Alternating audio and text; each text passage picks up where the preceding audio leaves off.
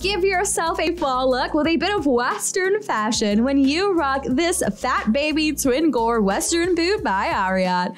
You'll adore this leather upper that gives you a super sleek look and almost a bit of Western flair. Enjoy the fact that those elasticized panels at the center don't just make it super easy to slip into this boot, but also give you a very lovely animal print pattern for a little bit of extra flair.